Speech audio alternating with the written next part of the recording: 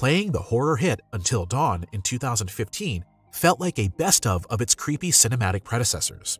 And now we have come full circle. The Hollywood Reporter reveals that the game is now to be made into a movie. In charge are well known people with experience in this genre. Director David F. Sandberg is leading the project. He most recently directed the two Shazam films. However, he made his breakthrough with the horror short film Lights Out, which was then followed by a movie adaptation and the horror sequel Annabelle 2. The final script for the Until Dawn film comes from Gary Dauberman, who is behind successful films such as It as well as Annabelle. It's being based on a version by Blair Butler, who last wrote Sony's vampire film, The Invitation.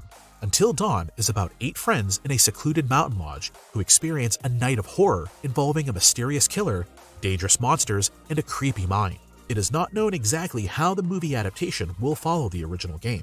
However, it is being described as an R-rated love letter to the horror genre, focusing primarily on the ensemble cast. While the cast has yet to be announced, the original already featured well-known stars such as Hayden Panettiere and Rami Malek.